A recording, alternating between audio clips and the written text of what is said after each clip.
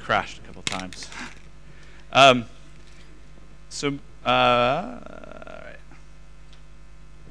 Alfresco starting up. Okay, so my name is Jared Ottley. Um, I'm part of the integrations team with Alfresco. Um, last year we, we, talked about Dropbox and the Jive Toolkit. We're going to talk about them a little bit today, but we're also going to talk about some of the things that we've done uh, as an integrations team. We've now grown um, to being more than just me. Um, and we're going to talk about the, the Google Docs integration uh, and some of the things that we learned while we were doing that.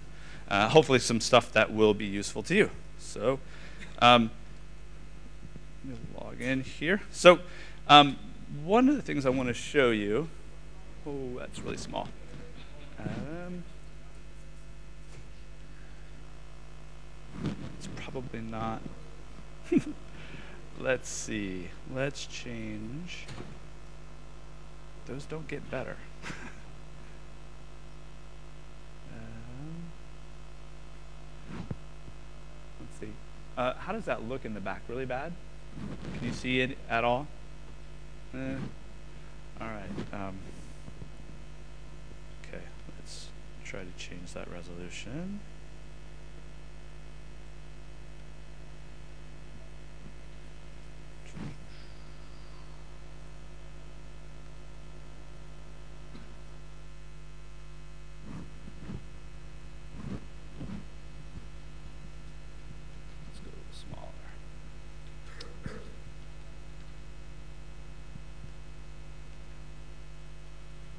All right, that's probably better. Okay.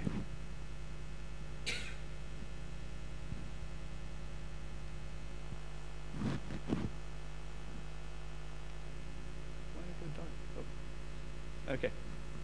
All right, so we'll, hopefully this will work out. So, um, start my presentation. So one thing to note about my presentation is I wanted to make sure that what you're seeing is um, not doing that? Okay, so let's move to. Okay. Um, created this presentation entirely using the Google Docs integration. So we'll give it a second here as it goes through and grabs stuff. We're going to use, as everything loads up here, um, just to show what is possible with this Google Docs integration. Okay.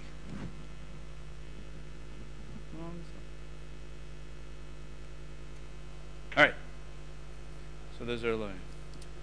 Okay, so like I said, we're going to talk about some of the projects we're working on, the current status of the Jive Toolkit, uh, Dropbox integration. We're going to talk about how we use Maven uh, and uh, kind of our little mandate we have, and we're going to talk about the Google Docs, uh, the Google Docs integration, what's new about it. We're going to talk about what's new in the product. Um, that, that we help to, to build on and some of the things that we use or some of the things that we've done within that as well. Okay, so as I said, it started off with just with me uh, as, this, uh, as, as, the only integration engineer. Then about three months later, Peter Monks came on and he was our project manager as well as project manager for the services, services team, API, documentation, all, all those sorts of things. And then Will Abson uh, joined, joined and he made everything look pretty. um, okay, so some of the projects that we worked on, apparently, uh, of course, we worked on the Google Docs integration, um, which will be uh, going at some point into cloud. Uh, it will go into enterprise, and it's currently available in the 4.2 release of community. Um, we took ownership of things like uh, Hyperic plugin, which is now available in community. We own the Kofax integration, the XAM connector, which is available for enterprise, S3 connector, which is cloud and enterprise. The Salesforce integration that's coming up, um, we're starting to take ownership of, of that, which is going into cloud, the Jive Toolkit, Dropbox connector. Um, both of those you can note that we're a little bit that. We've also uh, created a couple Spring Social projects, Spring Social Dropbox, which is a fork of, uh, of the project that's out there, expanded the functionality in that. Uh, we created a Spring Social Google Docs um, and Spring Social Alfresco. So if any of you guys went to the REST API uh, course, that uses um, Spring Social Alfresco as well as um, Dave Gilda's presentation with the GWT application against cloud uses Spring Social Alfresco. Um, we've contributed to Alfresco, we've contributed the OAuth 1 and 2 persistent services, which we'll talk about today. Um, we also made contributions to the PDF toolkit, stuff for share extras, bug fixes for the Maven AMP plugin. There's a Java CORS filter, which we've added functionality to um, and was accepted into that. Um, Will did the Welsh language pack, share import extra Python scripts, Ubuntu quick start scripts to help you get your Alfresco instance up and running really quickly on, an, on Ubuntu. Uh, yesterday, or Monday, in the, in the hackathon, um, we worked on WordPress Alfresco plugins, CMS plugins, to make it so you can see uh, content in your Alfresco instance uh, in Share as a, I can't remember what those are called, um, widget. Uh, and then built uh, an Alfresco to community cloud migration utility that allows you to be able to take a site in a community instance and copy all the content over into a cloud site. And we've done more than that as well. Um, what does the future hold for us? Right now, our primary focus is on the Salesforce integration, but we have a pretty fluid thing until we commit to a project. Once we've committed to a project, that's what we're going to work on. Um, and right now, what we are committed to is Salesforce.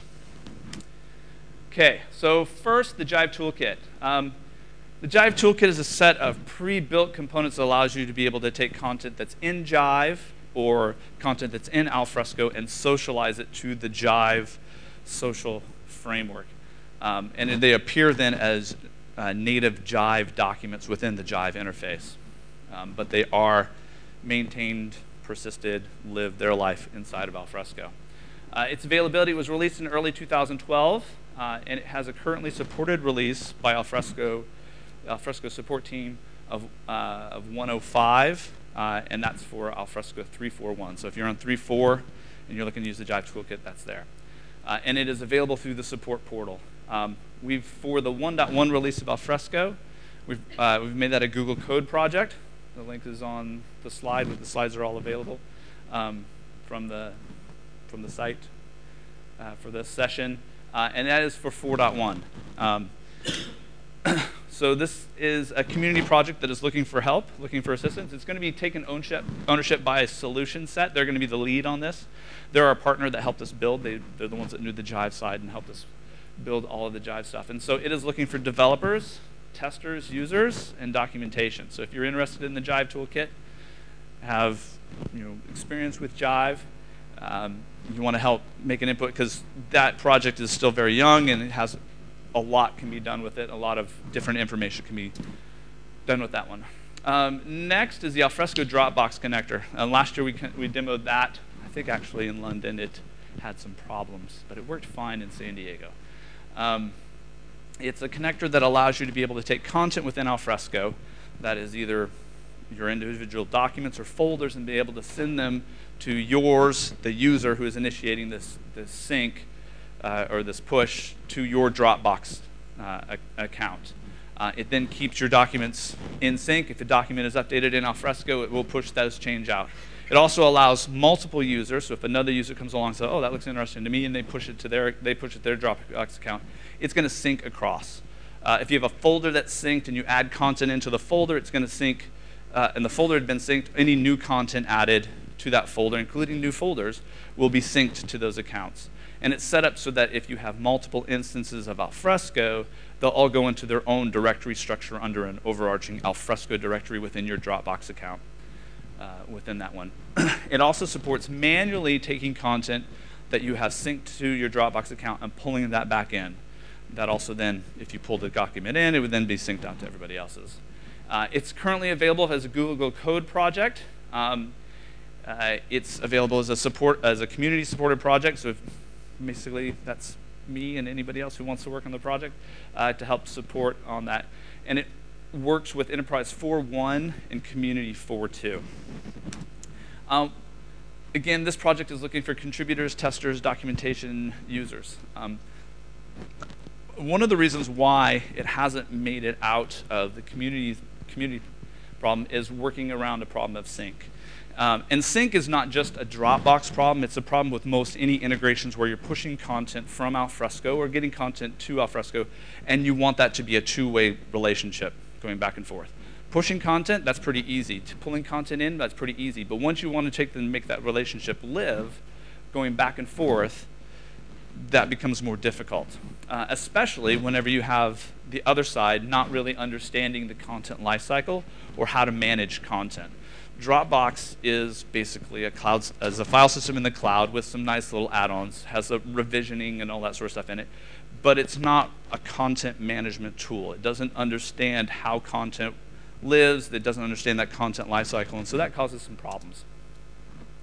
One of those problems is the one-to-many uh, whenever we try to sync. So in Alfresco, you have one document, and anybody can use that, but there's only one source of truth, and that's where that document is in, in, in Alfresco. Once you push that document out, when you push it out to something like Dropbox, there are now two possible, if you want a sync relationship, there's now two possible sources of truth for that document that have to be maintained for that. With Dropbox, since a Dropbox account um, does not have the ability, except for through their UI, to be able to share content from one user to another user, uh, that content now has to be pushed individually to everyone else's and can live independently of the content or the source of truth in this case, which we consider to be alfresco. Uh, and so that becomes a very difficult problem then to handle if, when you start having multiple changes that need to occur, have to come back into alfresco, and figuring out the correct order. We'll talk about, talk about in a second. Next is versioning. Dropbox has very poor support for, for versioning. It does have a revision history. Um, what that is, uh, what that is, is with each save, a, a version is created within within Alfresco. But those revisions are only available for 30 days except if you buy or get a supported version of Dropbox, if you pay, put out some money to get, get more space in there, you then have the ability to install what they call Rat Pack, which allows you then to be able to have content that lives longer or stays longer, has a longer revision history. But as an application developer against it, you have no way of knowing if that revision history is there and or any other extensions that they make available are there. So they have a very basic API for file system functionality um, with, again, like I said, some additional bells and whistles on that, but nothing really to help you understand what a user may have on that, whether they have a free account. Well, actually, you can't tell whether it's a free account, but you can't tell whether or not it's a, the extension is there. Revision numbers are alphanumeric characters, or alphanumeric string, and they're non-sequential. So there is no 1.1, 1.2, 2.0. It's AB2345.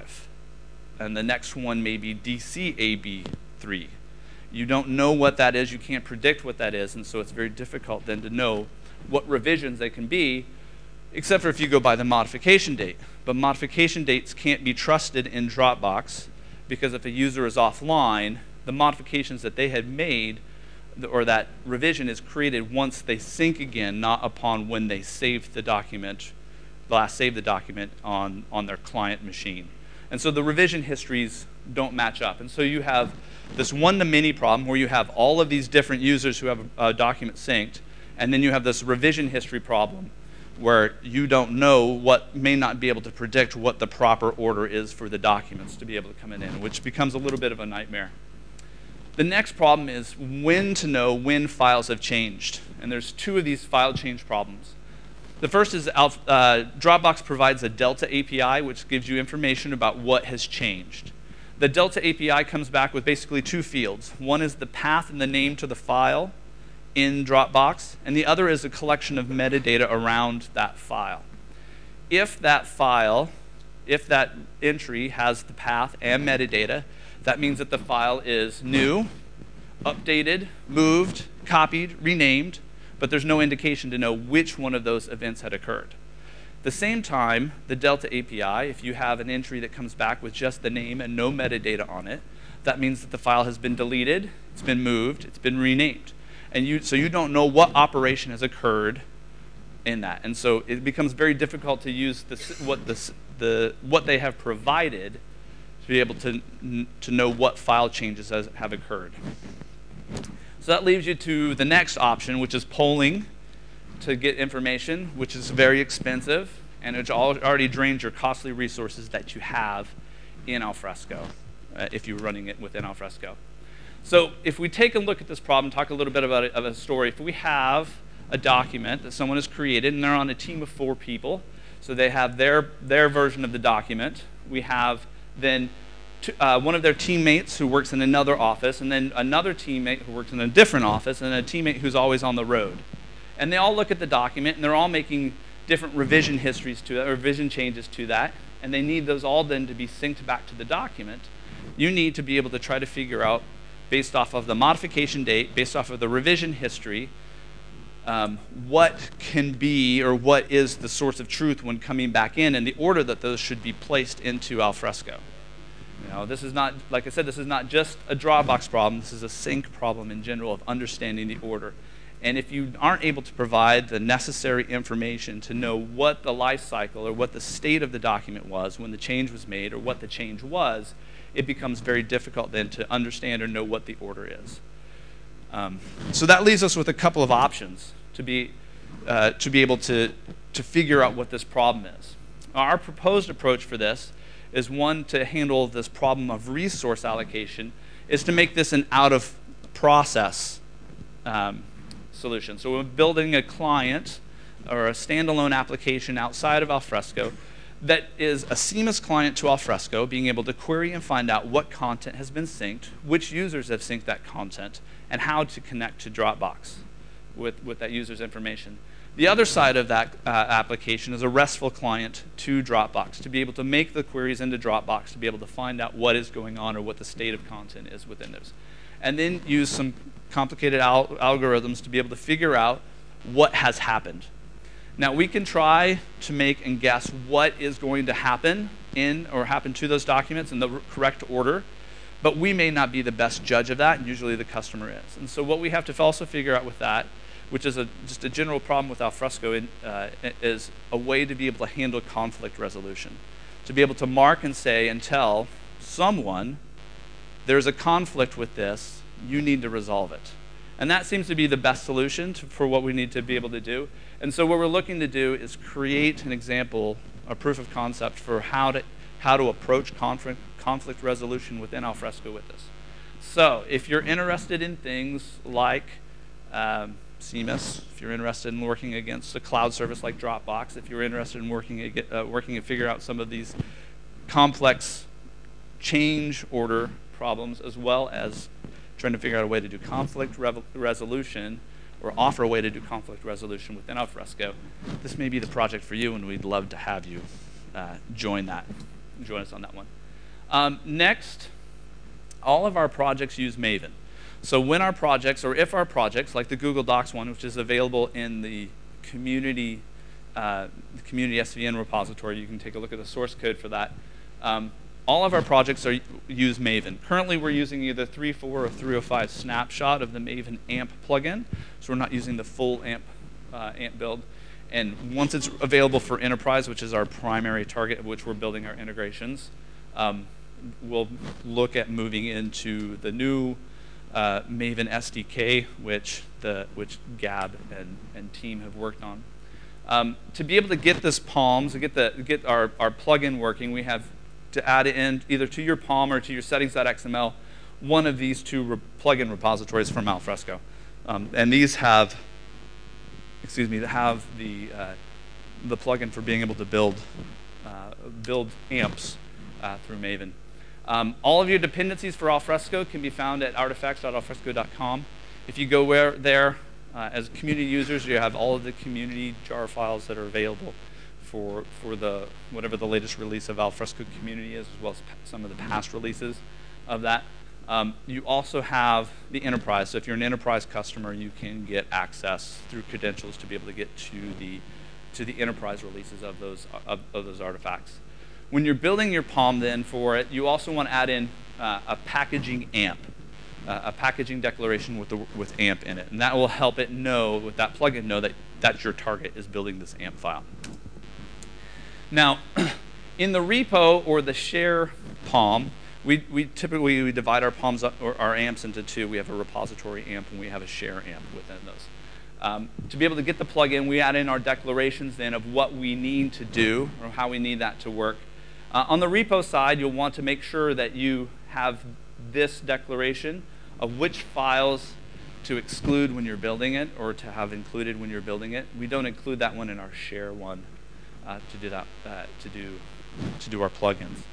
also, the other thing to, um, to add is a share POM uh, for the plugin to do any minification of your JS files for the share client side, uh, uh, client side components. Uh, and this, this example, or this one right here, will get you and uh, get you what you need and be able to minify your files. Once you're done, and this is probably really small in the back, sorry, um, is that you then have this directory structure under uh, that, that you would use to, to do that one. Uh, at the top level, you'll put your module.properties file for your AMP and your POM file. Uh, in there, then, you'll have your source directory, and in your source directory, you'll divide that up into uh, your main directory, if you have your main Java sources and your main resource files, and we'll talk about which goes on in a second, and then your test, uh, your test resources that go in there as well a, a test directory that have the, that have the same things, so you can do those. Um, in your main uh, main Java, you, that's where you put all your, your class files from that one. And the resources one, this is where for the AMP file, you have an alfresco directory which you which then matches up to the um, webinf classes alfresco uh, directory, um, which would then have your extensions, your message, your module directory, where you then uh, your module properties will end up in that one. Uh, if you need to have uh, uh, a modified web.xml, there's a web app webinf directory that you can add the, you would add that into. And that would be, it covers most of your cases for whenever you're building AMP files. In that one. Uh, build command is pretty easy, maven clean package. Uh, and then you can skip the test if you don't if you haven't done that one. The AMP is output into the target directory. Um, uh, and that will match the name that you put in your POM file. Uh, and then lastly, if you want to know what went into that AMP file, there's also a directory of the same name uh, in that target directory as the AMP file minus the AMP extension. You'll be able to go in there and be able to see the complete directory structure layout. So if you something didn't get put in there the right way, or you want to see what what actually get put in there, the, the how those things are laid out in your AMP, those are all there. Okay. Now get on to the Google Docs. Get my time. Okay. Google Docs V2, as Mike Farman said at, the, at, at our opening, um, is a complete rewrite of Google Docs. Um, how many people use the original Google Docs integration? One? That sounds about right um, from what we've kind of done. Uh, it's a complete rewrite of that uh, integration. We wanted to function on usability. We found that the original one wasn't very usable, and we think that's why a lot of people didn't use it. Um, and add some functionality in it to make it uh, a very streamlined user experience. Uh, in the Google Docs v2, there is no shared account. In the original one, there was one account created in Google Docs, and everyone who checked out documents checked out to that account and used that. Uh, now, everyone who uses Google Docs and, v and V2 can create and edit their content in their own directory. Uh, Google is used as an editor and not as a persistence layer. This is not a checkout to Google, and then you can go or publish to Google Docs, and you can go and use that. Um, but it's a uh, it's a solely to be used as an editor. Uh, it's an add-on, so not part of the core, so we can move or have a development cycle that is different than the core product. Hopefully, we have, as, as there's bug bug releases, we can have more frequent releases or updates of the add-on that won't affect the core core of that. And our target for this is uh, cloud, enterprise, and community. And currently, community is the only uh, only released version of that. Um, also, if you are Google Docs users, you're probably all now Google Drive users. Um, there's an API change uh, that is expected at some point. Um, the Google Docs API has been deprecated. Uh, I think I think we figured out it has two years left or so. We're not really sure. it wasn't super clear on that one. But at some point we will address that. It did change then some of the functionality of how, how things or how we expected things to work, but everything is, seems to be working right now. And eventually it will become a Google Drive integration. All right, so now we want to do a demo. As you can see, we're already kind of into that demo right there. Um, let's move back. Okay, move into our document library. And there goes my computer. Give me a second here. Yay. What was that? Talk about drive here. All right. Come on. Wake up. All right. So I'll talk through some of the some of the things that we did as this is starting up, and we can we can do that. Um, uh, we wanted this to be a pretty seamless experience, um, so that a user can either edit current or existing content as well as create new content. Uh, Google Docs supports four types of documents, which are pretty generic names. They have documents, they have presentations, they have spreadsheets, and they have drawings. Now, not all of those content can, can match also what our goal was, which is just have a full round trip of content, that you'd be able to take content that you created or edited or had there, br bring it into Alfresco, then bring it back to Google Docs, and then bring it back into Alfresco as a seamless experience. Now, not all content supports that. Not all content can make that full round trip because it might not be a, a type of document that Google understands. Um, the other problem may be that the content or Google Docs itself doesn't have a full support of a round trip. An example of that would be uh, a drawing, a drawing file. So if we just quickly talk about uh, what Google supports for drawings, we really liked, would have liked to have had drawing support in there. Uh, Google supports application, the MIME type is application slash x slash uh, ms meta file. Anybody know what that, that MIME type is? It's a Windows meta file. And a Windows meta file is a vector drawing, and it's more or less, I think, a proprietary vector drawing, which is the supported open or, or supported Office image file format. So when you take and put an image into Office, it's getting changed from JPEG ping, whatever it is that you GIF, whatever you put in there, and changed into this file to be embedded in their documents. Google supports being able to take or take those file types and only those file types into Google Docs, but, but then allows you to be able to export any other, it, it, export it as a GIF. Uh, actually, they don't support GIF, they support JPEG, PNG, and PDF. Um, we also didn't want to do, we, didn't, we decided that we weren't going to do PDFs. Um, part of that is for fidelity reasons. Uh, we can't guarantee completely the fidelity of a PDF file going in and coming out of how it may be rendered or how it would be changed. So we wanted to protect you from that. We also can't guarantee fidelity of all of those documents, but you have a bit more control whenever you put it into things like Office or that to be able to, to, to, to handle those. All right, give me a second here to do that, do this. Okay, so to be able to do our create content, um, we had to do, looking at creating content, move that one.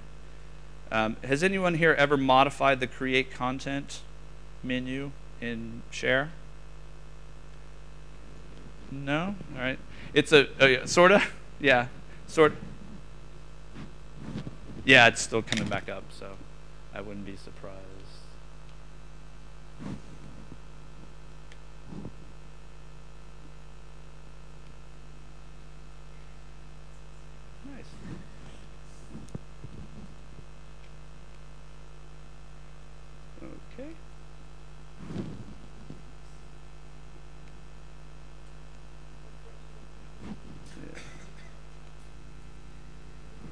Strange. All right. Okay, this is coming back up. Um, so it's, it was a, it's a pretty involved process to, for that create content menu to be able to do, to do different things. Um, the, uh, so what we wanted was a simple way to be able to do that. So the, uh, the doclib has this new extension framework that allows you to be able to have these new callback actions where you can, where you can have it call a JavaScript you can have it uh, reference a link that's external to share or a link in share. So we have what we call link and page link. Uh, we wanted to see the same functionality for the create content menu. So now within Alfresco, or what Alfresco uh, as of 4.1, um, and it, it is in community 4.2, you now have the simplified way of being able to create content uh, using a, a callback. Um, create, uh, you have this little blurb, and we'll see this here in a second, a little XML blurb to be able to define that relationship or that action, and then be able to reference a JavaScript that then is able to, to perform that. Okay. Let's try going back into it. There we go.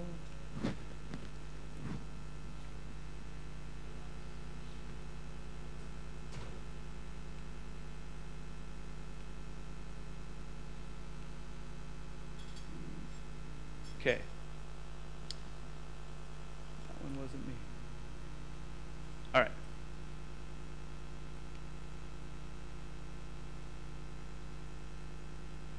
Okay, so now we see in our create content menu, beyond just having plain text, HTML, and XML, we now have a, a, Google Docs document, a Google Docs spreadsheet, and a Google Docs presentation. And those are all controlled by, by, by, that, by that option, and we'll go into those in just a second. If you have existing content,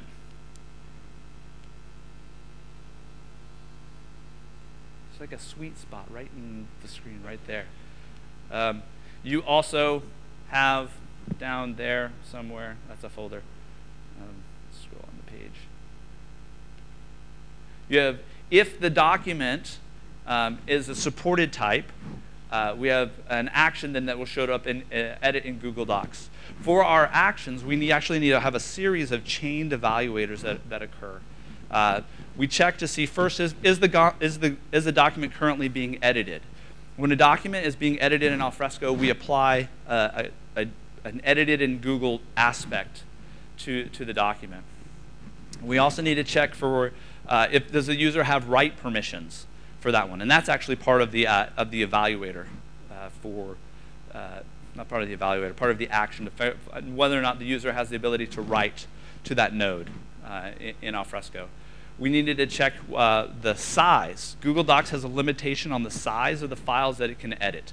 So a document, the maximum, and actually it's actually a pretty complex set of, of things. Beyond, beyond just uh, a file size, they actually, for a document, they actually go to a number of characters that are in the file.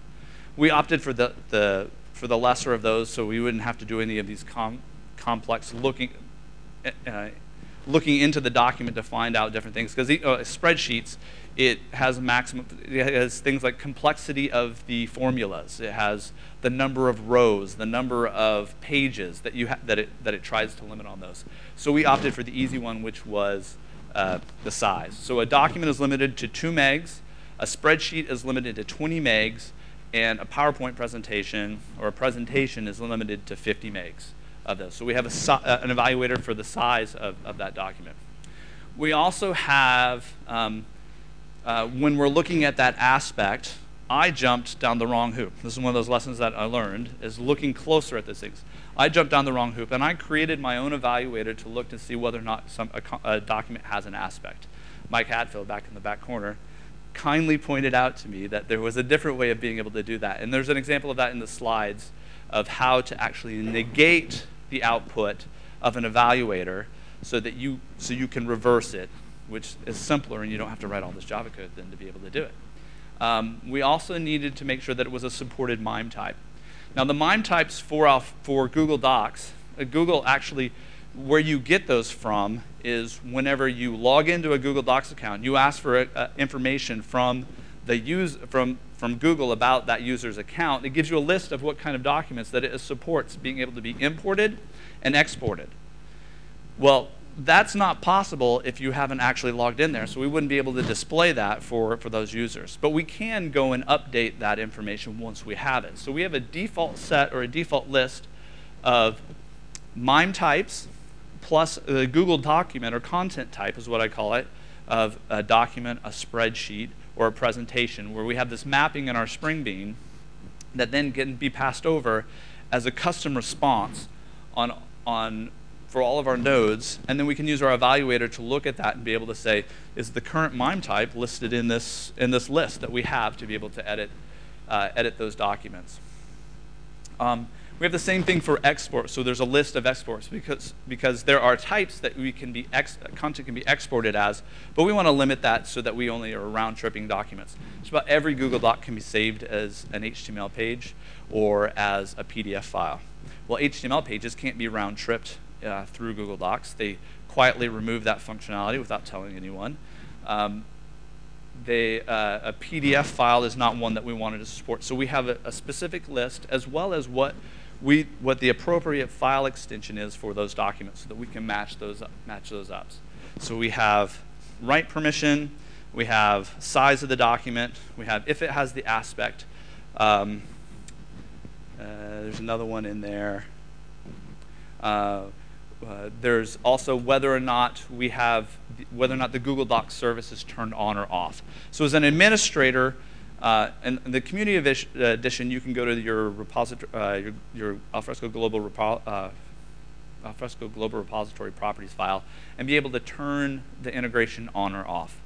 And the enterprise version, you can go through J JMX and be able to turn it on or off. But we also didn't want it to make it so that if users had content that they were editing, that would, they would be stranded. So we, um, so we allow you so that if your content is currently being edited, if the, if the system is off, it will, um, uh, it will then allow the user to continue to edit their content until they save it back into Alfresco, at which point it, it's, uh, it's, it's done. Um, the resume uh, actually has only two things that are evaluated, whether or not it has this, this Google Doc editing Google Docs aspect. And then it uses one of the indicator, indicator evaluators of whether or not the file is locked and if the lock owner is that user. Because we only want the user to be able to go back in, the person who put that lock in or has it checked out to their Google Docs account to be able to go back in and edit it. So here we have, actually let's go up and we'll create a new document first. Go to our Google Docs, um, create a Google document. So this is going to go through um, to see. Uh, here we have actually an OAuth check that's going on. So Google Docs uses OAuth to be able to do this one. Um, the OAuth flow within Alfresco actually happens in a couple steps, and it's initiated first by the JS, by the JS when the user clicks edit or create that content. Um, we have a call that goes to a web script, and that web script then goes to the Spring, goes to our Google Docs service, which calls into the uh, Spring Social Google Docs and gets the authentication URL. And this is the URL that the user should be directed to to be able to enter in their credentials. That URL is then passed back to the share side, and then the share side opens either a, a modal dialog or a new window um, so that the user can then enter in their credentials and approve access for this application to access their Google Docs account. Um, once that's done, that page closes. To be able to handle the cloud side of this one, I've got 10 minutes, okay, I gotta hurry on this. Um, it then um, goes out to the alfresco.com website, has a page that then does some special handling on the URL that return, is returned back that has the authorization code strips that out, passes that back through the user's browser so they can go back to Alfresco, and then uses our OAuth 2 service within Alfresco to be able to persist those tokens for the user session so that during different parts of this, the user doesn't have to go in and make changes or different, different things that are going on. So here we go. Here's our Alfresco editor. We have very simple. We wanted to be very pretty and unintrusive. We wanted the user to be able to have all full functionality of their Google of the Google Docs application. We have a return button. This takes the user back into the Alfresco doclib. Um, we have a discard changes, um, which then allows basically any changes that you've made here get wiped out. If this was a new document that you've created, that document is actually removed from Alfresco uh, at, at, that time. Um, it also does a concurrent user check. So if there are other users that are concurrently editing that, editing, that occur, occur as well. So let's actually show that right now. So I'm going to share this document. Okay, I am, who has access? I see that? Let's go. P-Monks. I'm going to add, I think it's the green one, Peter Monks, who's sitting here in the front row, to this document. All right, so we've now added that change. Um, and got to figure out how I can close this window.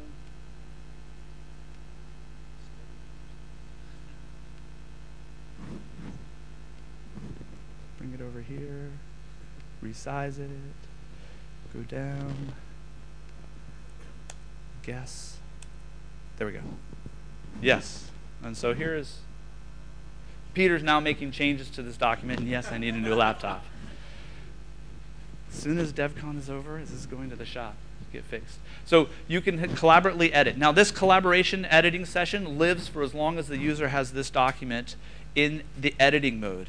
Once they have saved this document, this, the URL that the user received by email is no longer valid and they can no longer access. It. If the user goes in to edit this document again, they cannot use that URL to access that document because this is a, a brand, it will be a new document once again in Google Docs. Once the user saves the document or discards the document, it deletes the document from, from, uh, from Google Docs. As we said, this is, Google Docs is not a persistence layer. This is an editor. That's the only functionality that we want to be able to have or use with that one. It's a nice shade of yellow. Yes, it is a nice shade of yellow. We also wanted to be able to support uh, renaming a document. DevCon DOX. Now, DOC. Now this should, if I'm remembering right, the default format for this will be, so if we save this, see that Peter was currently editing it, so now do we want to continue?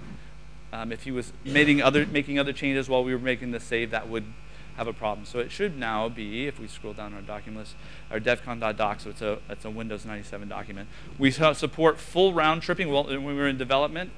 Um, Windows or Google added support for uh, uh, Office 2007 documents, so we support Office 97, Windows 2000, uh, Office 2000 documents, text documents go, go through this as well. Open Office documents, Open Office format.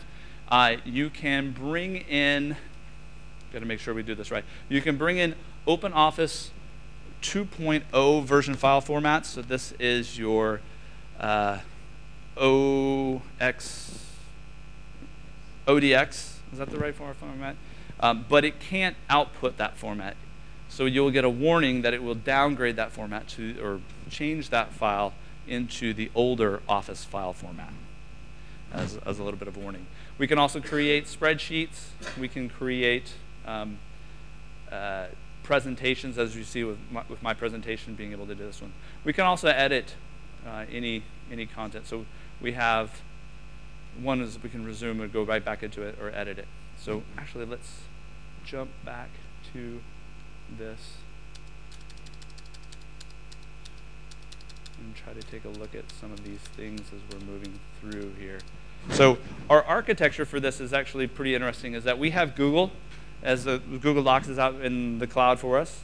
We have the repository side, which is our Google Docs service, which handles most of, most of our work uh, around the document. And then we have the share side.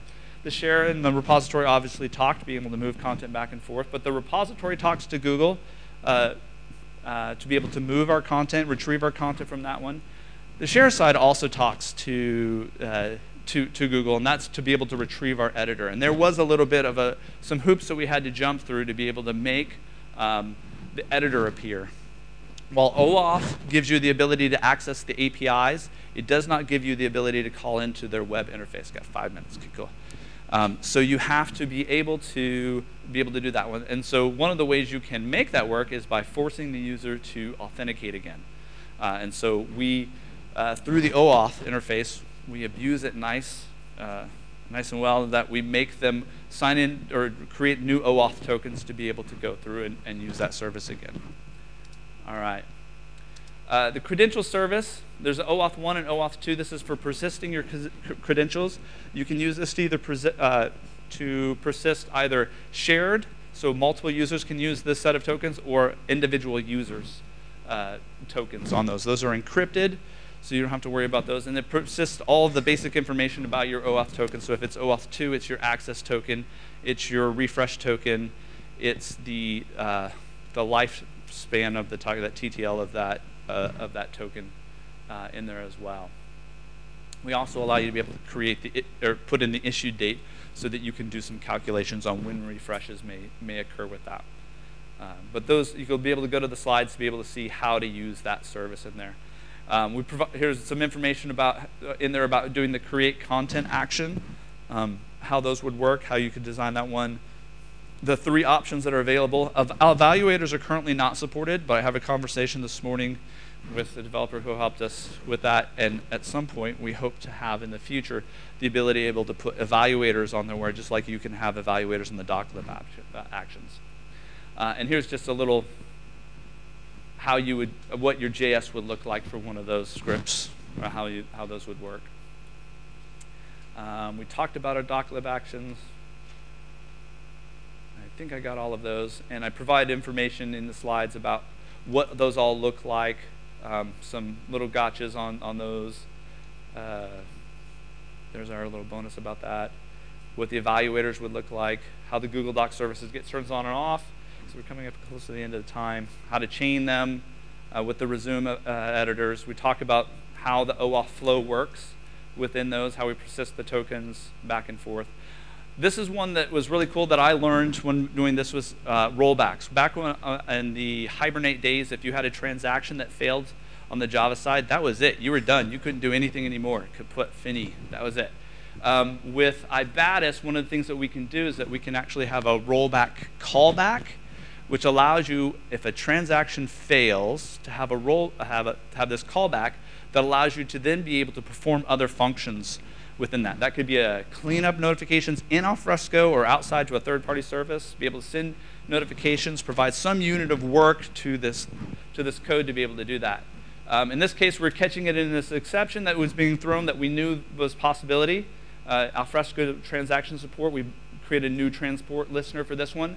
And then we have this after rollback callback that's getting created here. And that's the work to do. False and true is whether or not uh, the transaction should be read only or not, and whether or not it should be a new transaction outside of that one. Um, I haven't chance. There's some other ones. Uh, other ones. This is the one I think that I would stick to for being able to handle this. I wouldn't look at things like uh, before transaction, before or before commit, after commit. Those to me seem a little dangerous to be able to touch, but the rollback seems to be one that's pretty safe outside uh, of it to be able to use. And in this case, we were just we needed to throw another exception then up so that the client could be able to handle that one. Um, also provide in here if you've never created or been afraid to create a subsystem in Alfresco, um, anything that you expose, any properties that expose through your Spring Beans are automatically exposed as read-only properties. But you can create, if you want those to be read-write, for you enterprise customers, if you want those to be read-write, you can create a subsystem in Alfresco and expose those, and those are automatically able to rewrite and then be able to turn those on and off. So we provide some information in the slides as well on how you can create that. It's actually really simple, and it's not something to be too afraid of doing. Uh, example of how ours looks, what ours looks like. Um, category is that upper one, authentication, um, file system. Those are the ones. Uh, our type name is then the one underneath, uh, is what appears under that one. You don't, uh, usually it's default. Many of those are default, but in this case we needed version two of that one. And this is actually the path to what that one should be. And whether or not it should be started when alfresco should be that one. Some best practices, I like to keep my model uh, uh, in with my subsystem so it doesn't live outside, so all those files are together. Web scripts cannot be live inside of a uh, of a subsystem. Um, they actually live in their own container and can't be restarted and started because it doesn't know how to do that discovery down to be able to do, to do that one. Um, you should also test, if you create a system, you should also test what happens when you unload them. Is the behavior that you're seeing acceptable? Uh, if you create a subsystem uh, and you call the service that was in that subsystem and it had already been loaded, it will reload that subsystem. You don't want that to happen, you need to programmatically control so that if things happen, they won't, they won't do that. And that's one of the things that we have that explains how e-users are able to continue with the Google Docs functionality once the, the, the system is turned off. The property will remain false, even though the system may be running for different things. Uh, and that's it. I hope I'm able to dram a lot of stuff in there. If you have any questions about the Google Docs integration, any of those projects that you want to help participate in, Jive Toolkit, Dropbox, uh, any of the other project lists that you see out there, any of the ones that are community based, I'm more than happy, we're more than happy to talk to you, share extras, PDF Toolkit. Um, those are kind of uh, the ones that we've worked with for a long time. Questions about using Maven, you can ask Sam, he's in the front row. Don't ask me, I just play like I know what I'm doing there. Um, uh, and that's it hopefully that was informative to, to you guys and learned something new. And again, all that information is in the slides that we talked about more in depth, and you'll be able to use those for, for examples. Okay, thanks.